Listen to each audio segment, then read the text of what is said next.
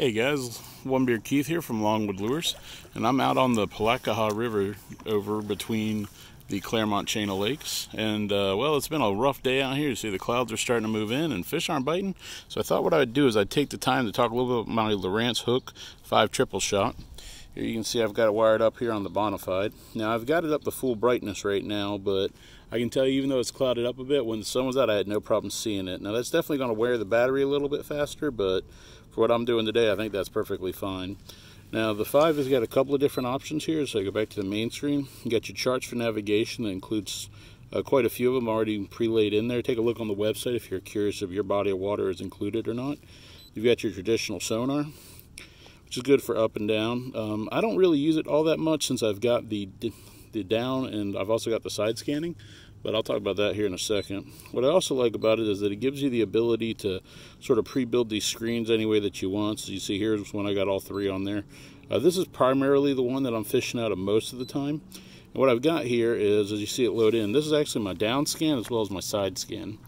Now I'll talk about my settings here in just a minute, but you see I've kind of got it dialed in a little bit more. So I've got a lot more clarity going on than, than you would get out of the factory settings. Since I'm always generally going to be fishing out of the Bonafide, my little kayak here that I know I don't need to set this to be ready to go at any quick pace and for the most part I'm not really using this to try to find fish I'm really more interested in having this help me figure out where structure is and you'll be able to see that kind of going across on the bottom what's nice they made the settings real easy to get into so this particular one that I'm on now I've already got kind of set for myself but we'll go on and talk a little bit about the side scan because I think anybody that's really looking at this this is probably one of the newer features and it's definitely the one I think a lot of people are interested in so I'm going to be in here just strictly on the side scan for a minute.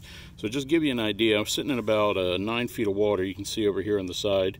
So this goes straight down to about nine. You can see that line. Then from there, that's the edge that's sort of folding out from me. Now I happen to be sitting right here against the weed lines while you're kind of seeing that go down so sharp.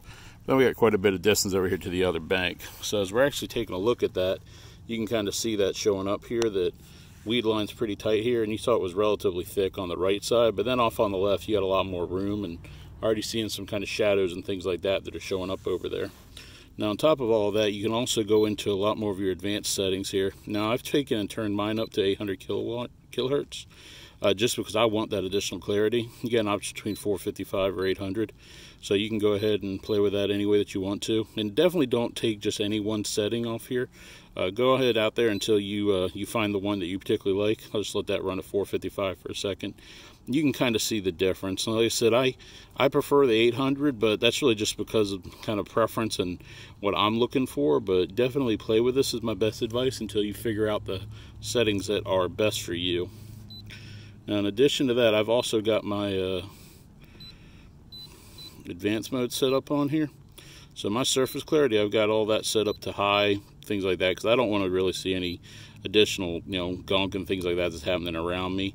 I know the type of water I'm fishing in down here is typically going to be something that's a little bit murkier, and I just don't need to deal with it, especially in the case where I'm really just looking for structure. That's just adding a level on there I don't need to have. Now if I go ahead and just back up out here, same case with the down scan, you can actually see what's going on there. So that's also set at 800. Uh, what I do really like about this is it's got the water temperature on there. So one advantage I have with the uh, the Bonafide is that it does allow me to put my transducer directly underneath. It's got that bottom hole mount, so it's actually down there and it's kind of free swinging. So that's been really nice to have and just be able to take advantage of overall this thing's worked really well so far. I've just been able to wire it up. I did go with the five mainly because i was going to be on the kayak. I didn't want something that was overly big. And i know a lot of people are probably wondering the same thing. If you were going to get the clarity and it really sort of be worth it. And so far it's actually proven to be pretty true. Uh, no real complaints on it. It's had some good depth lines. I've been able to find a lot of good structure out there I was hoping we might float over something interesting here and see if anything pops up for you. But um, you have the fish pings and sort of all the different things on there. But brightness wise, works great, real easy to install. Uh, didn't have any problems getting it set up or configured and just got it kind of running here inside the, uh, the little kayak and it's done a real good job. Like I said, this is more for settings on how I'm using it. I'm not, you know, being uh, just paddle powered. I'm not really ever going to be moving more than maybe one and a half miles an hour, or sort of unless I'm really trying to crank down. And since I'm usually fishing, I'm just trying to look and be able to get a better picture out there. So I was able to turn a lot of those settings up on mine and just kind of see what's going on. Right at the moment, I'm kind of drifting backwards, so you're seeing that on the screen. Let me give it a couple of strokes here and see if we get a little more clarity.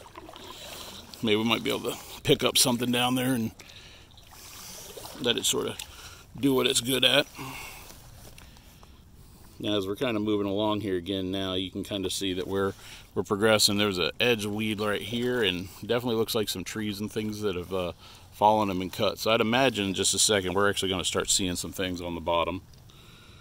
And here we go. So now we're actually starting to see some of that. So you can get an idea what that weed line looks like. There's some edges coming in. The down scan's picking it up as well.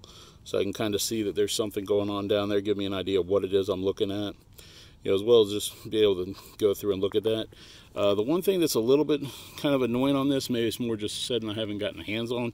Uh, getting a quick waypoint is a little more painful than I'd like it to be. You typically have to actually go back out to the map and then set it from there rather than just being able to, to tag a point from here and say, hey, I found something interesting. Uh, that may be a setting that's on my end and not necessarily something on this. I'm still kind of finding my way around it, but as you can see, it works pretty well. Uh, mounted really easily, didn't have any problems with it. Um, doing a pretty good job in here and just kind of telling me the story that I needed to tell just so I can help find some of that structure down on the bottom a little faster and uh, really get something good out of it. So that is the Lowrance hook. That's the five triple shot. Um, they do make it, I think, in the all the way up to the nine, and you can kind of go as crazy as you want. Like I said, in my case, I wanted the five, just kind of going to be in the kayak, and I didn't need a, I didn't need to have a you know giant screen here getting in the way of what I was trying to do otherwise. So that has been uh, one beer Keith here from Longwood Lures. I hope you guys uh, enjoyed that and learned something interesting. Uh, feel free to drop a comment, let us know what's going on, and if there's anything else you want to see or if you got any questions, by all means, please reach out.